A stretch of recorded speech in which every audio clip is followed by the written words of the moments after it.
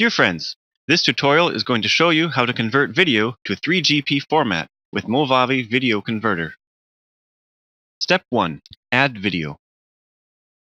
Run the program and click the File button to add videos to convert. If the original video source is DVD, click the DVD button to add your DVD.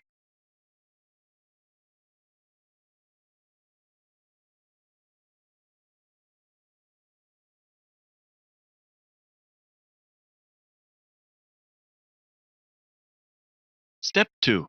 Select the right preset. Click the arrow in the Settings panel at the lower part of the converter window.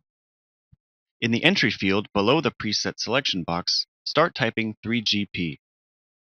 Now select the preset you need.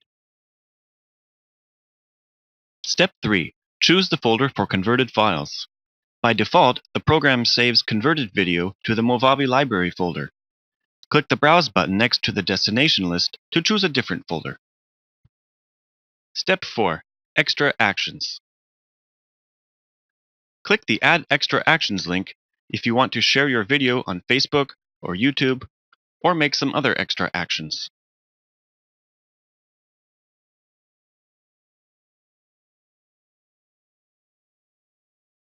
Step 5. Converting the video. Now click the Convert button and wait a bit for the perfectly converted video.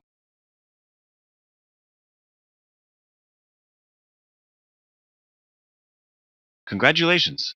Your video was successfully converted.